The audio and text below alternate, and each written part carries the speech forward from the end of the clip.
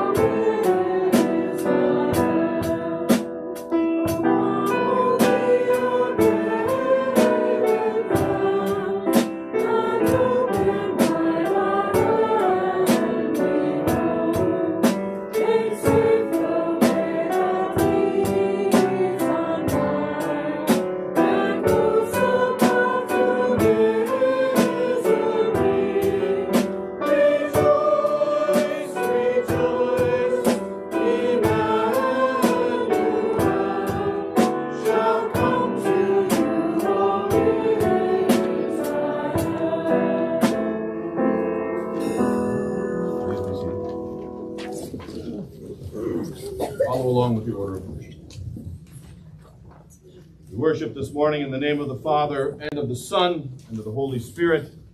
Amen. God our Father, each day is a gift of your grace.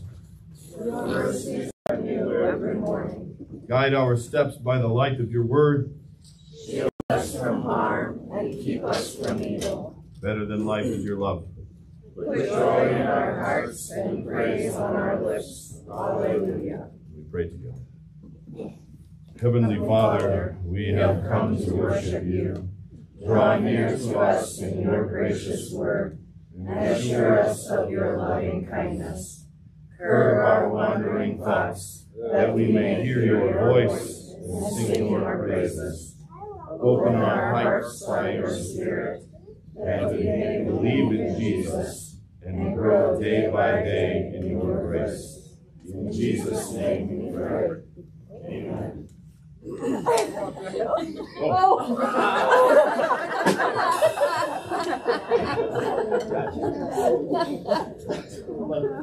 weird is going on.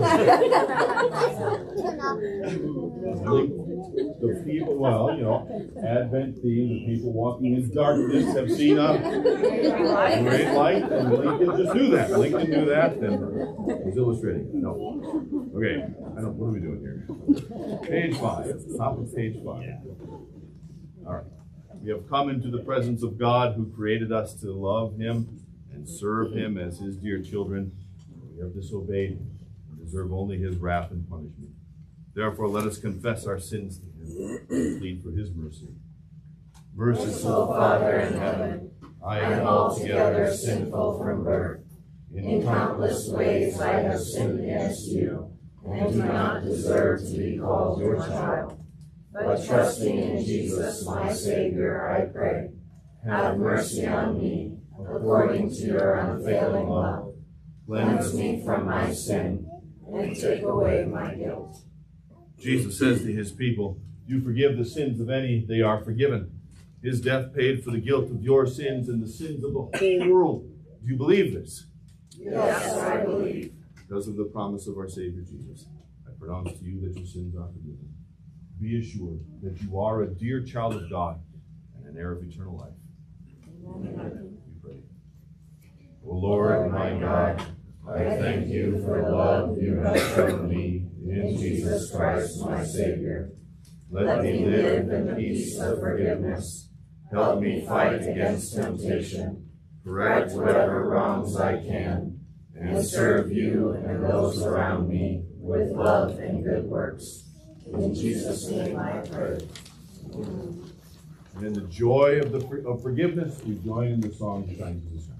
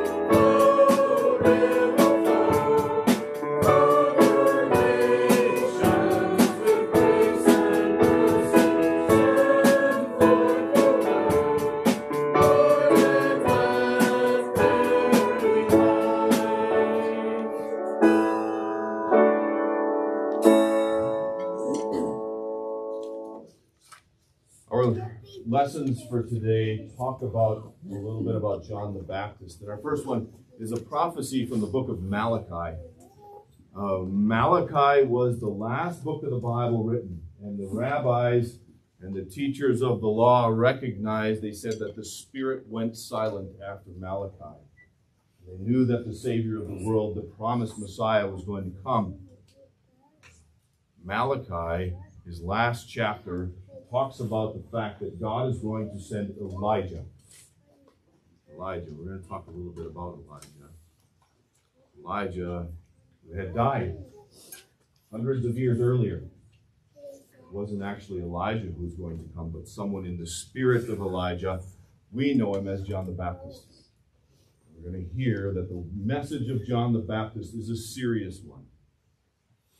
I know it's Christmas. All be filled with joy and warm and fuzzy. John the Baptist message was harsh. We're going to study that a little bit today.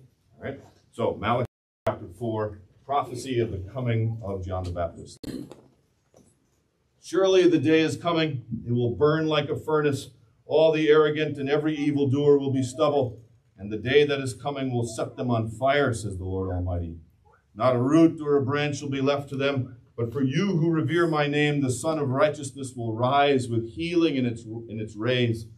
You will go out and frolic like well fed calves. Then you will trample on the wicked. They will be ashes under the soles of your feet on the day when I act, says the Lord Almighty.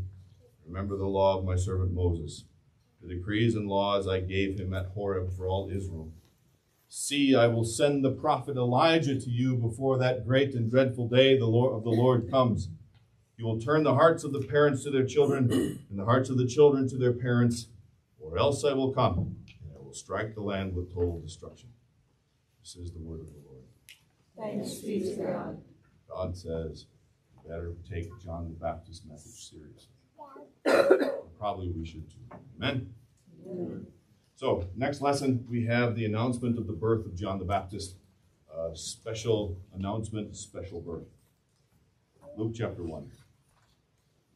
In the time of Herod, king of Judea, there was a priest named Zachariah who belonged to the priestly division of Abijah. His wife Elizabeth was also a descendant of Aaron. Both of them were righteous in the sight of God, observing all the Lord's commands and decrees blamelessly. But they were childless because Elizabeth was not able to conceive, and they were both very old. Once, when Zachariah's division was on duty and he was serving as priest before God, he was chosen by Lot, according to the custom of the priesthood, to go into the temple of the Lord and burn incense. And when the time for the burning of incense came, all the assembled worshippers were praying outside. Then an angel of the Lord appeared to him, standing at the right hand of the altar of incense. When Zechariah saw him, he was startled and was gripped with fear. But the angel said to him, Do not be afraid, Zechariah. Your prayer has been heard. Your wife Elizabeth will bear you a son. You are to call him John. He will be a joy and a delight to you, and many will rejoice because of his birth. For he will be great in the sight of the Lord. He is never to take any wine or other fermented drink, and he will be filled with the Holy Spirit even before he is born. He will bring back many of the people of Israel to the Lord their God, and he will go on before the Lord in the spirit and the power of Elijah to turn the hearts of the parents to their children and the disobedient to the wisdom of the righteous, to make ready a people prepared for the Lord. Zechariah asked the angel, How can I be sure of this? I'm an old man, and my wife is well along in years. The angel said to him, I am Gabriel. I stand in the presence of God, and I have been sent to speak to you and to tell you this good news. And now you will be silent and not able to speak until the day this happens, because you did not believe my words, which will come true at their appointed time. This is the word of the Lord. Thanks be to God. Next hymn, not one that we sing real often, not one that's very well known, but it's about the ministry of John the Baptist We'll stand and join together on, on Jordan's Bank Baptist.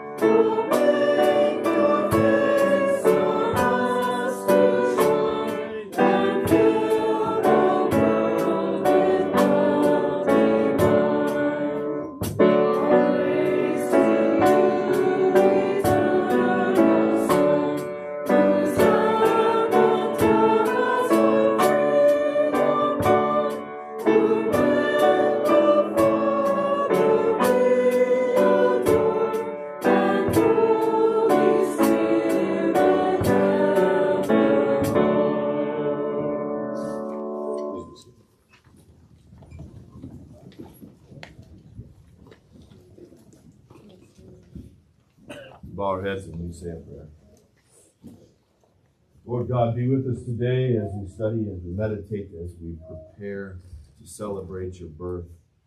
Lord God, by your Spirit, by your word, shape us, fashion us, uh, give us the right attitude today, Lord God, in our in our approach. Help us to understand uh, what it all means, Lord God. In Jesus' name we pray. Amen.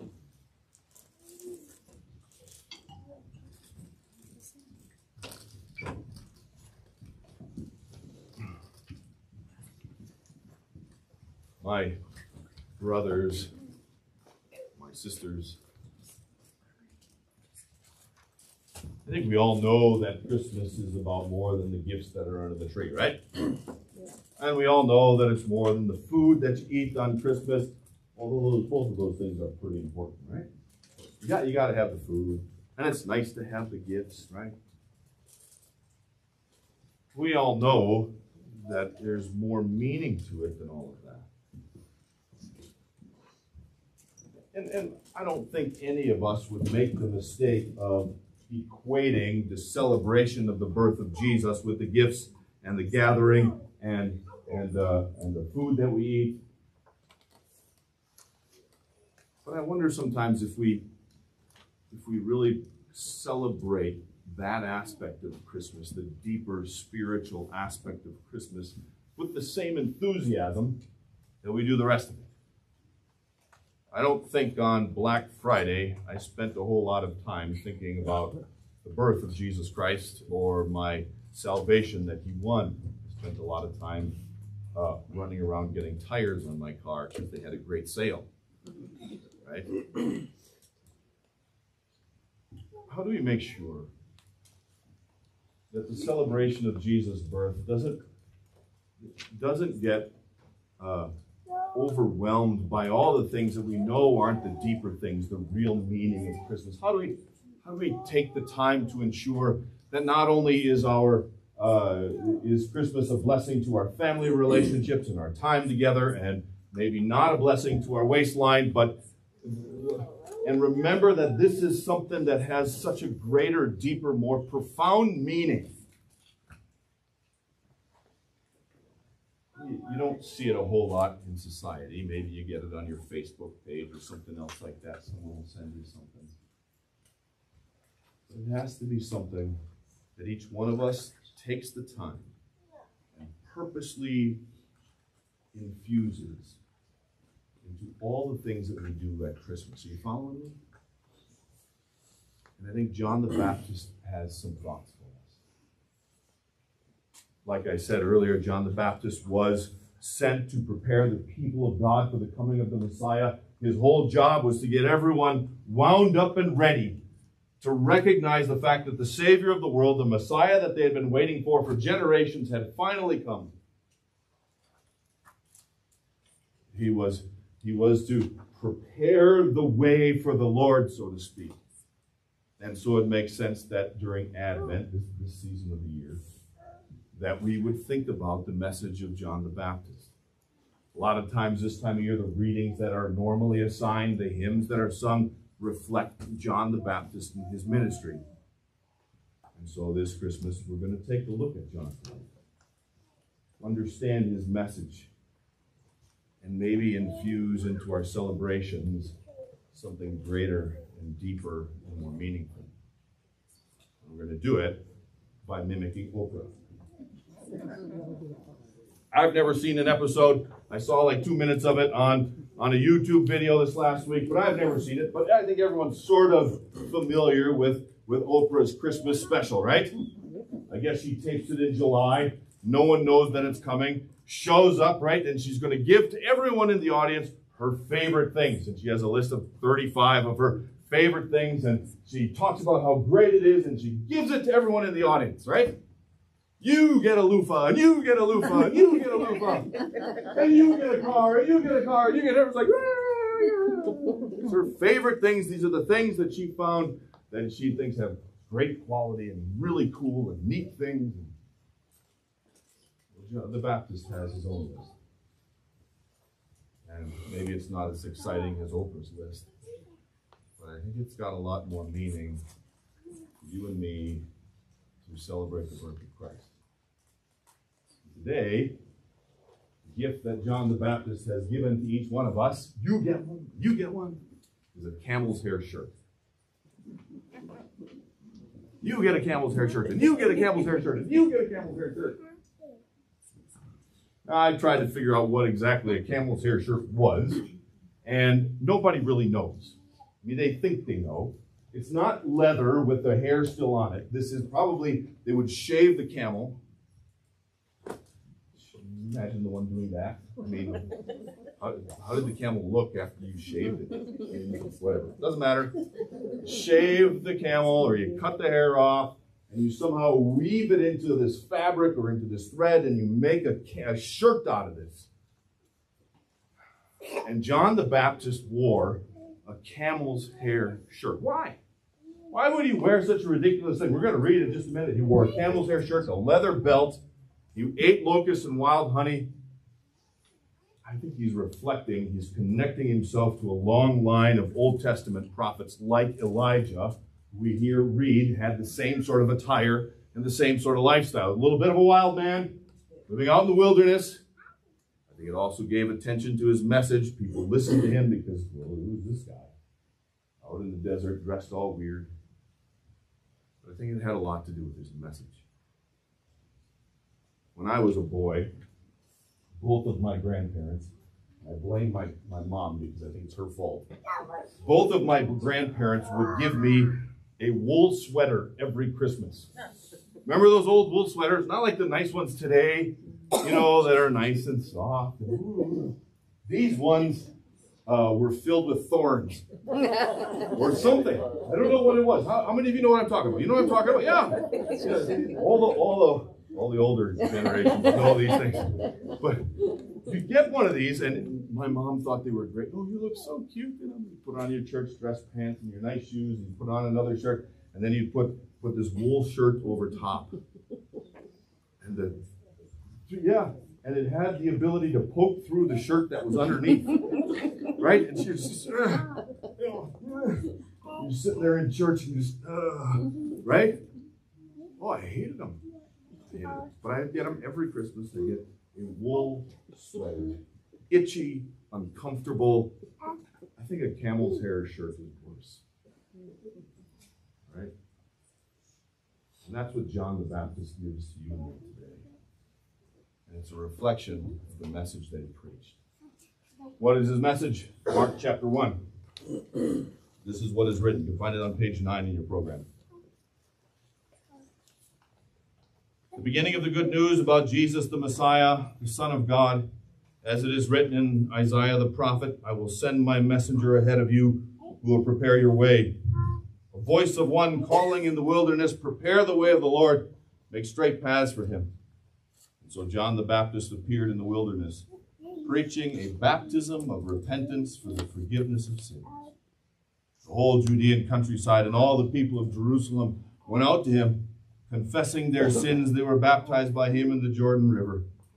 John wore clothing made of camel's hair, with a leather belt around his waist, and he ate locusts and wild honey, and this was his message.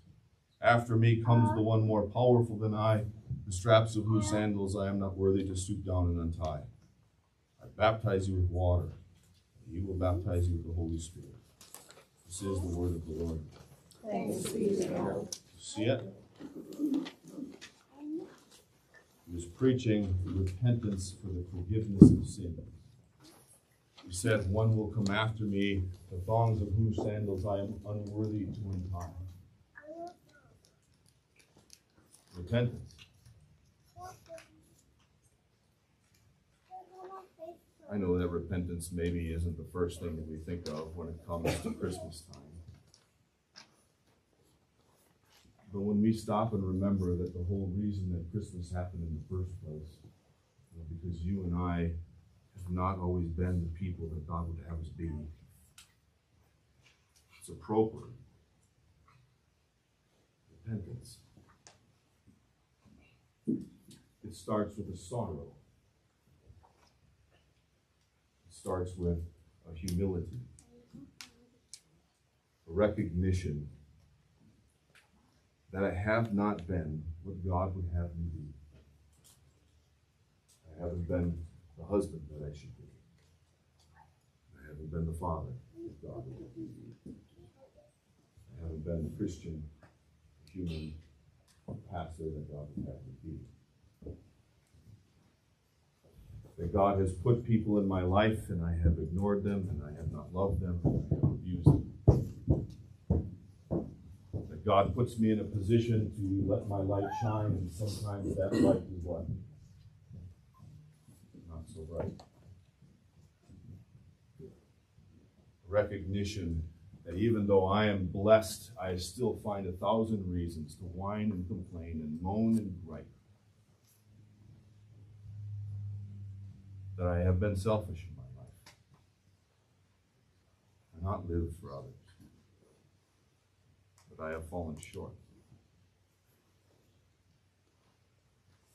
Repentance, humility, a sorrow that recognizes the fact that I'm not as righteous and holy and wonderful as I like to claim to be. Amen. Reality is that because of our sin, we deserve nothing, we can expect nothing good. We have no right to demand anything good from God.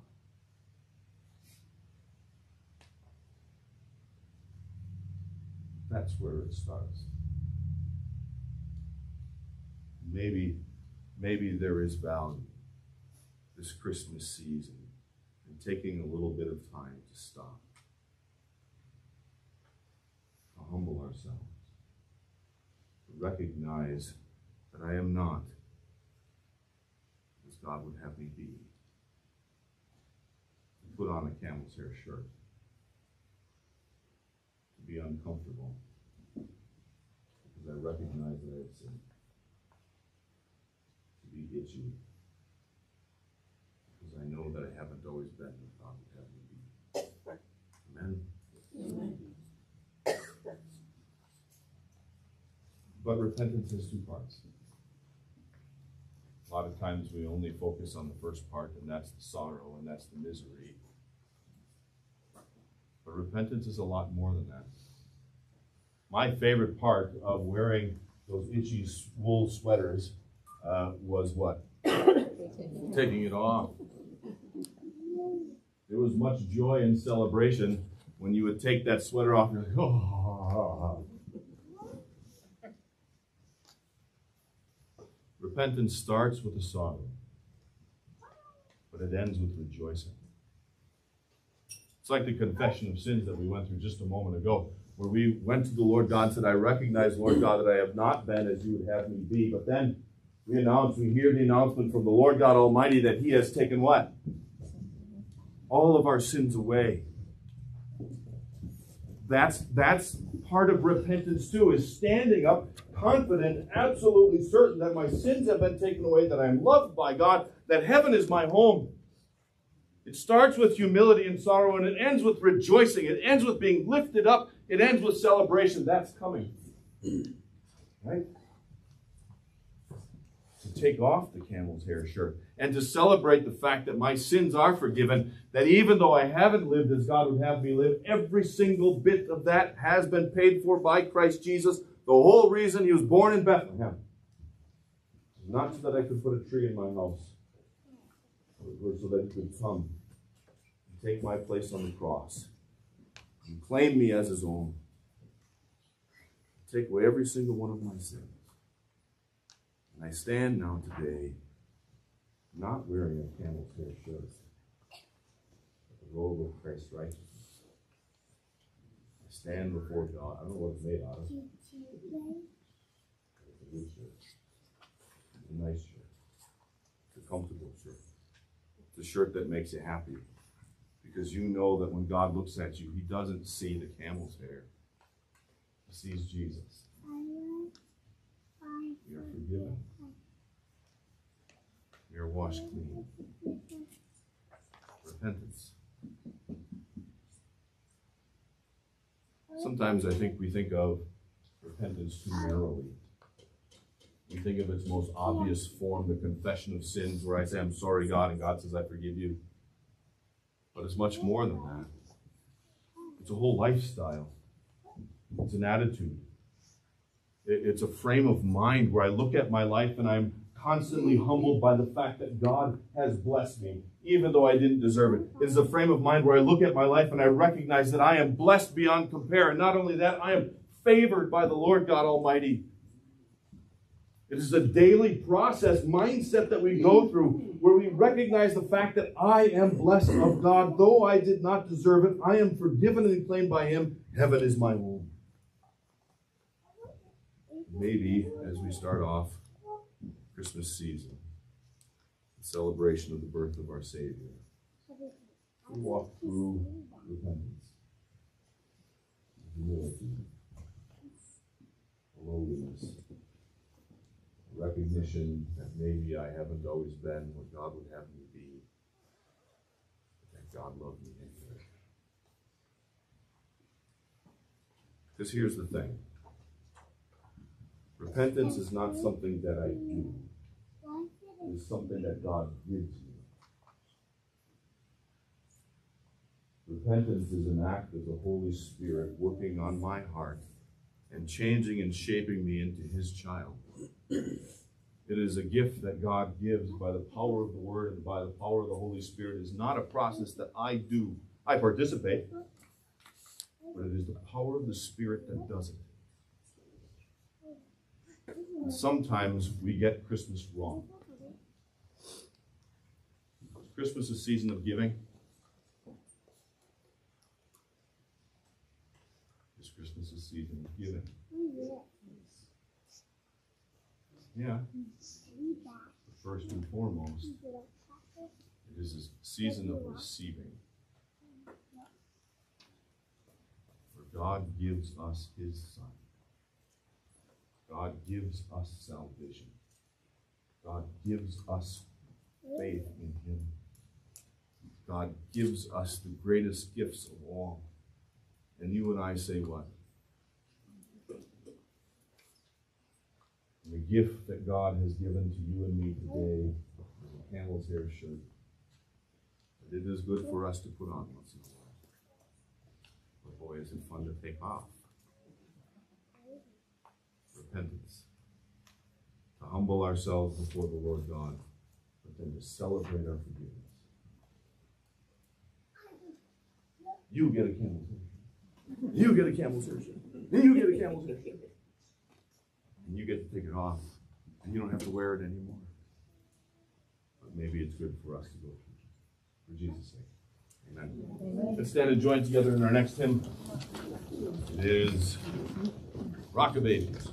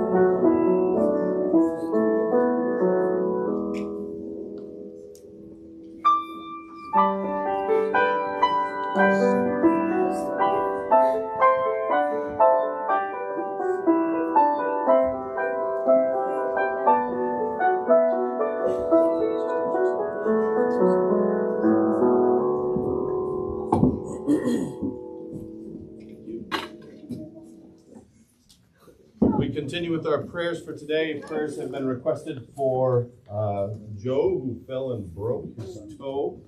Uh, this is Deb's father. We'll give thanks to God for recovery. Um, pray that the Lord will continue to bless him. Uh, for Carmen Walter's mother, uh, continues to struggle with health. Pray for peace there. There's a little bit of uh, uh, uncertainty there, so we'll pray for some peace. For Alejandro Walters, who's suffering from pneumonia. For Sue Holt, who's recovering from cancer surgery. Uh, for Dorothy, Ted's wife, who's not who's struggling with her MS, right? Yeah, just exhausted. So we'll pray for strength. Uh, we pray for the residents of the village of Kabazala, Uganda, uh, who's threatened with floods. We'll remember them in prayer. We remember Ted's friend Randy, who died of a heart attack. Pray for that family. Anniversaries, the Todds and the Castros, and birthdays, Carlito, Sierra, Kayla, and Tracy all are celebrating birthdays this next week, so remember them in prayer. Are there any other prayer requests today? Yes, Deb. Um, prayer thanksgiving for all of you for praying for the. So.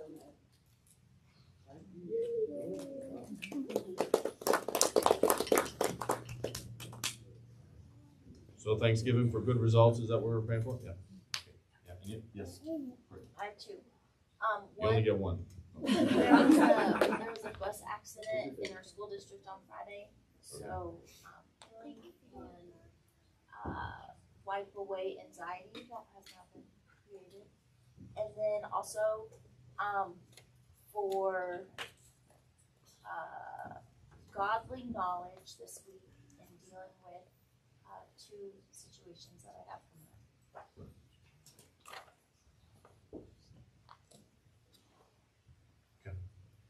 Yes, Lord. Um, we've got Allie's birthday this week. Oh. And, um, for my continued healing from my dad, he's making good progress, but, um, yeah, just, he's in rehab.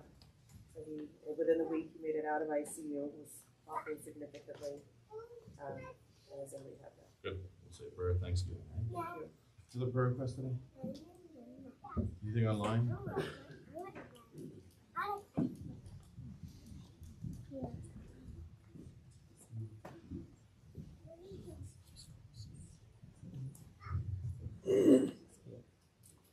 Uh, prayers for some uh, difficult things in life with work, with uh, the rental property that she has. Prayers for common strength. Prayer. Let's stand and join together and go to the Lord God.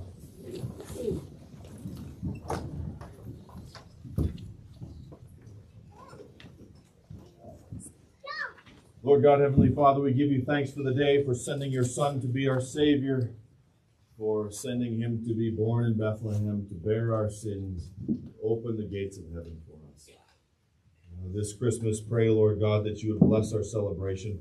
Help us to remember, Lord God, that the whole reason we came is because we have not.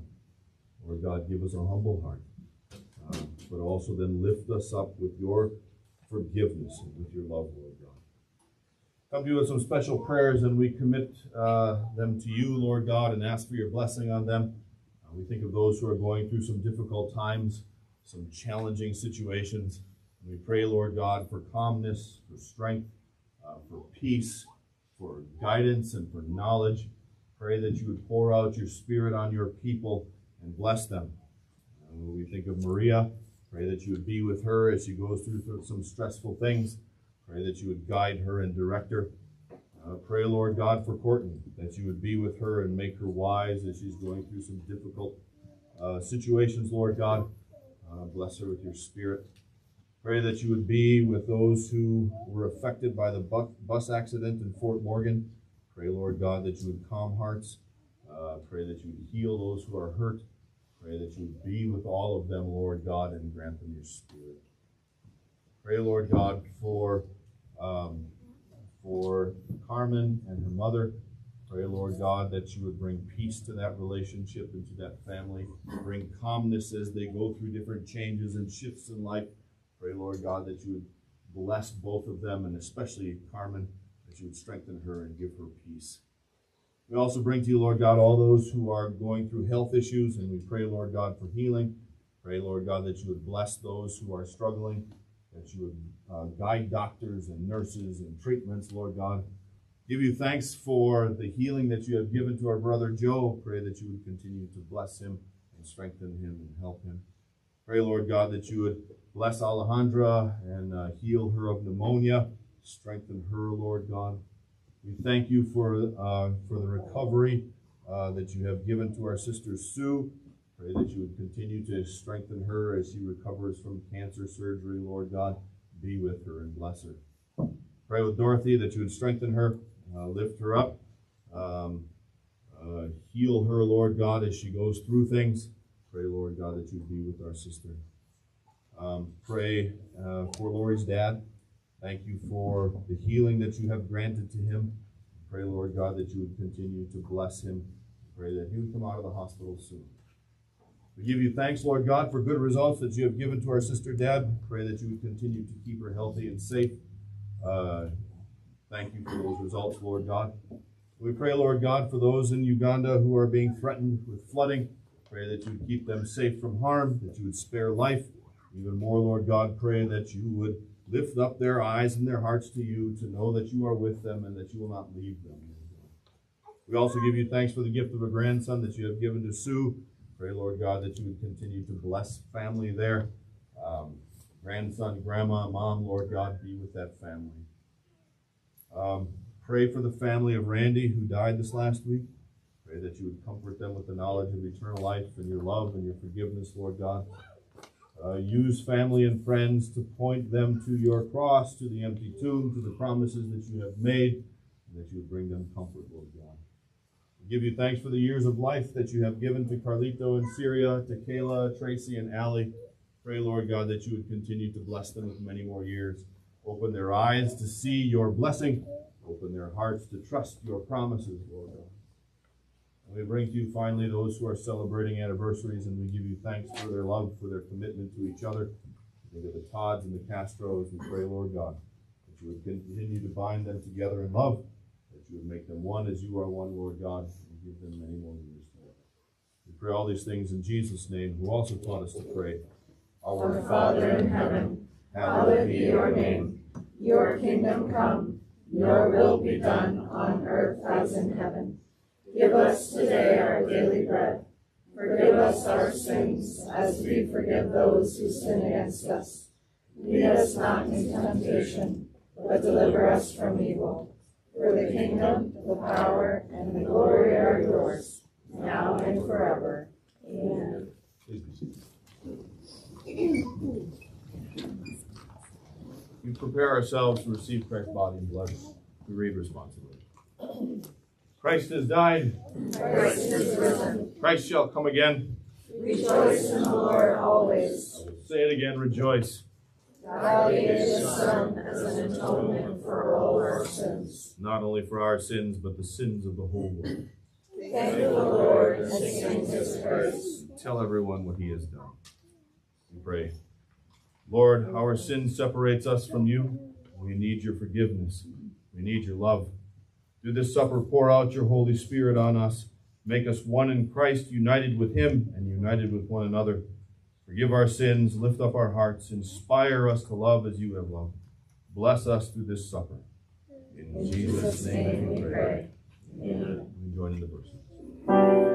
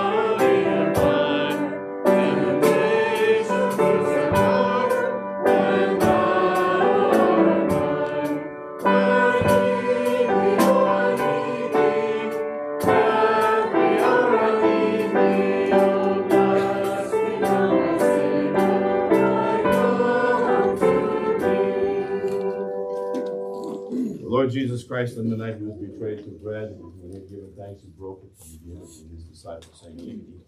This is my body, which is given to you. This remembrance of me. Then he took the cup, gave thanks, and gave it to them, saying, Drink from it, all of you. This cup is the new covenant in my blood, poured out for you for the forgiveness of all of your sins. Do this whenever you drink it in remembrance of me. Peace of the Lord be with you always.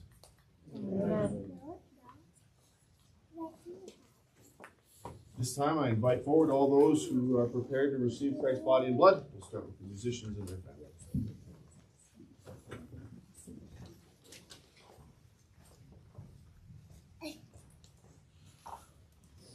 And eat.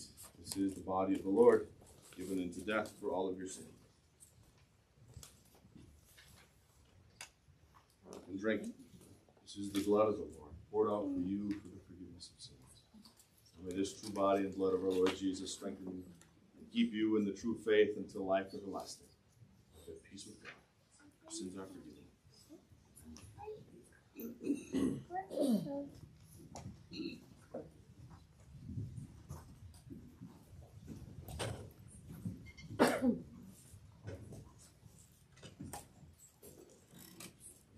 Take and eat. This is the body of the Lord.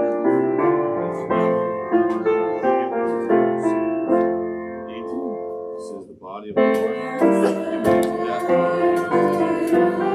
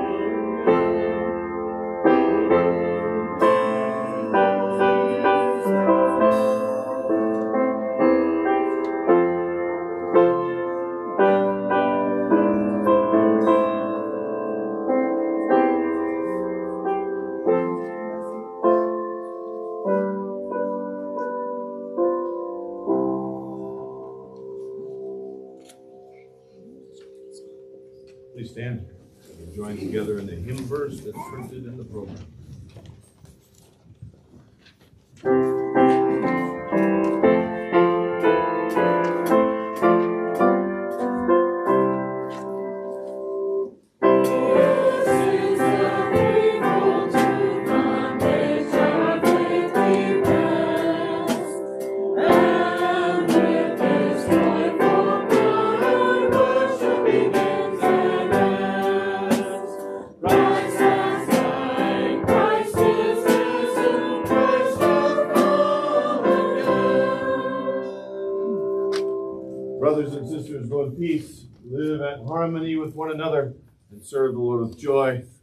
Bless you and keep you.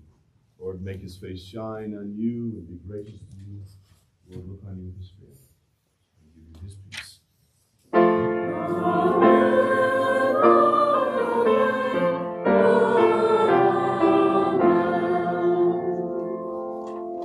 Good morning, everyone. Good morning.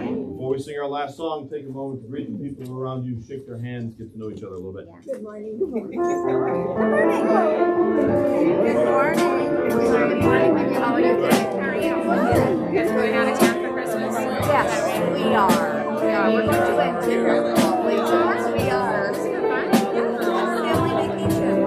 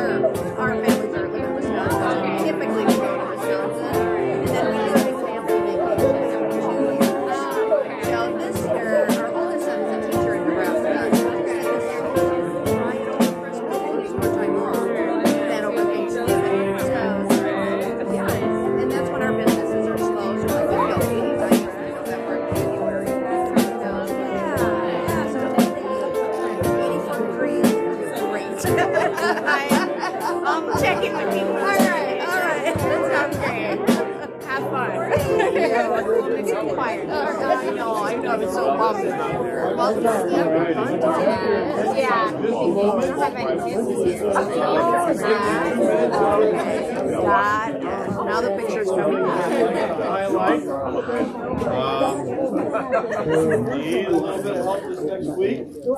Um, we got a couple of events going on, uh, and need some help just setting up and taking down and things like that. Saturday, we have our annual craft fair. Uh, we usually have three, four, or five hundred people walk through our doors, just getting people onto the campus so that they get to see us a little bit. Could use some help afterwards. So our craft show ends at three, and it takes us about an hour to set everything back up again. We use as many people as we can here Saturday at three o'clock. Uh, this is where the craft show is. We have to set it up for church. So love to have you with that. Also, then on Sunday afternoon, we do something called Advent by Candlelight for the ladies. Uh, they meet in here, have a little Bible study, devotion, worship, and some fellowship. And we have Advent by Firelight for the men. We'll have a fire out in the parking lot. Men, we are here to help the ladies set up ahead of time take down afterwards, and then enjoy some fellowship out in the parking lot as well. Um, times for all for the help is listed in the program. If you look at the back, there's the schedule for the week, December 10th. Set up at five. Okay, I'd love to have you here to help set up at five. Does that sound good? We should have time, right? Oh, yeah. Yeah. Okay. And then uh, set up for set up the church back up again at eight. Okay. Anything you want to mention on that, Gretchen? Well, the Advent by um, candlelight is desserts and drinks. Okay. So everybody knows it's don't eat dessert at home. Don't eat the dessert at home. don't eat desserts at home. Oh, don't eat desserts at home. Bring them. It also is something, uh, you're welcome to invite people to attend. So there's this flyer in there, has the information on it. Invite your neighbors, your family, your friends. Uh, love to have them come. This is not just for us, it is an opportunity to reach out as well. Okay? So take this home with you, and if there's someone that you might want to invite, we'll share it with them, okay?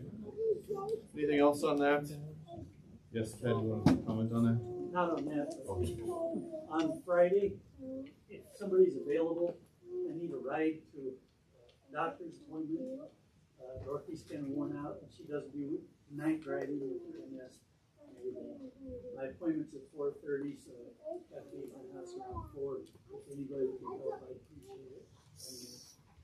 Speak with Ted, speak with me. Yes? I want to say give a shout out to you, Valerie and Christine, for helping me with the hit bags yesterday. I couldn't have done it without them. And I'll go-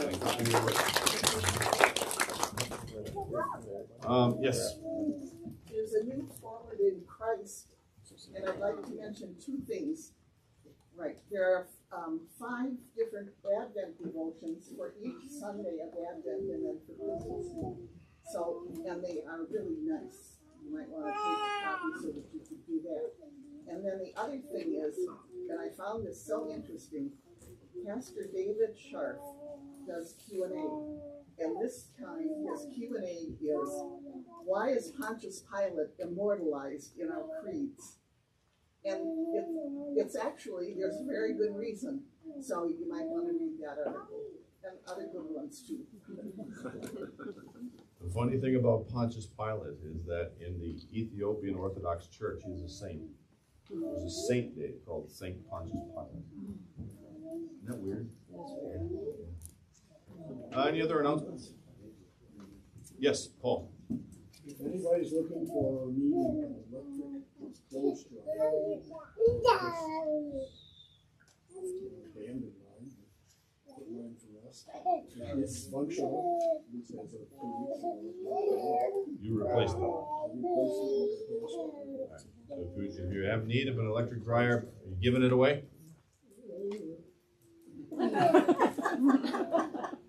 Maybe.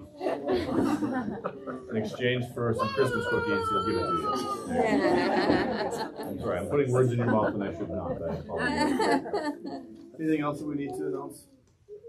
Bible class, Sunday school to follow. Love to have you all stay. Um, yes. Oh yeah. That's right. I keep forgetting. Um, if you are a member or a visitor and you're not getting an email on Fridays, please reach out to my email under here, admin, and message me and let me know your email so I can get that out to you. I want to make sure everybody's on the list. And then, um, as always, go on Instagram and Facebook and promote the craft fair. Even if you just click like on it, that helps the algorithms. So please share the posts for Advent by Candlelight and the craft fair on those social medias. like it or share it. I don't know how all that works, but do those things because it really helps reaching out into our community, okay? It's an easy way to do things, right? Anything else? Pastor, Yes. so we're starting What? Christmas program practice today. That's right. So if your kids are going to be in it, stay Yeah. please. So Christmas preparation, Christmas program preparation begins today. Uh, during Bible class, are you guys going to be in here today? Probably in one of the classrooms. Okay. Right. So if your children are going to participate in our Christmas program, uh, they're they're welcome to stay, even if you haven't told Erin yet. Right? You're working that out today. Yep. Uh, find Erin, and she'll tell you where to go. What? Oh yeah. What's that? And women's Bible. Okay, there's a women's Bible study starting up in January. There's a little QR code in there. You can see that. There's a book that you're gonna buy. It's gonna be a bi-weekly. Is that the way you said that? Once every two weeks. Once every two weeks. Bi-weekly. Bi-monthly. Every other week. Every other week. That good? Uh, yeah, so if you're interested in that, uh, talk with Christine. She's the one who's going to be uh, leading that effort. I'd love to have all you ladies join us for that Bible study uh, starting in January. Nope, I'm not. All right, let's stand and join together in our closing hymn, Go Now in Peace.